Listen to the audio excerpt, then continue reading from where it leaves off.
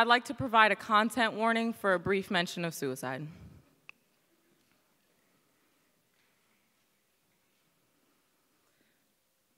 Dear God, it's me, Maddie. I know it's been a while since we've spoken, but steeples and stained glass aren't exactly conversation pieces for people who identify in the rainbows of light that shine through them. No optical illusion, I'm sorry. I always giggle during prayers. But laughter is the best medicine when you don't know why you're hurting, and when you're hurting, it always feels like you never stopped. I feel bad that I couldn't memorize the melodies of my Methodist upbringing, but I promise I was never trying to upset you. When seven days a week turned into seven deadly sins, I saw nothing left of myself that deserved to go to heaven or VBS or Sunday school. And when we read Leviticus, I wondered how you could make a mistake on me how the Holy Bible had a hold on my throat, and when exactly pretty girls became perversion. I thought nothing was holier than love until I started loving the wrong way for Scripture. So I wanted to ask you if evilness is learned, why was I born this way? No Lady Gaga, just gay. And are you sure you really made straight people?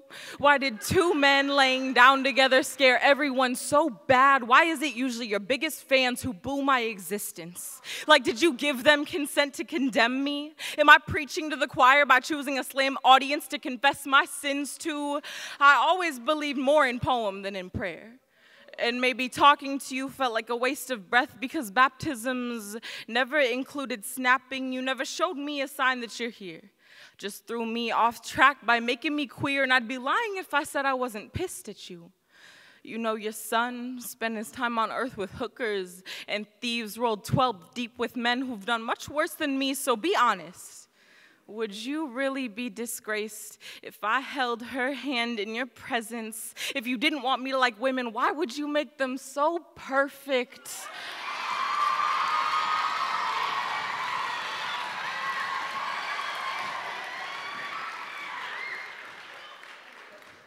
I would much rather lay down palm leaves for them than whoever that white guy is with the long brown hair who hangs in the hallways of churches who haven't accepted the melanin in their Messiah quite yet.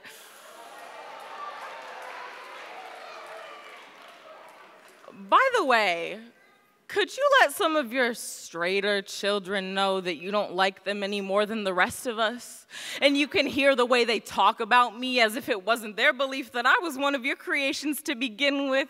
Did you know that my voice never shakes when I say your name in vain because I'm pretty sure you wouldn't even remember mine? And I felt like we've had beef for a while.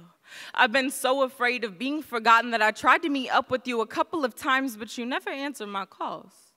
Always left me undelivered. How can you deliver this day our daily bread and forgive us our trespasses if we give glory to you from a trap house or a pride parade? Does it really matter who we love as long as you're a part of the picture? I know you low key be painting the sky for us right after it rains, as if you're paying homage to the ones you've taken home already. You know, we flood to you four times faster than straight folk when suicide sends us there. I've heard you work in mysterious ways.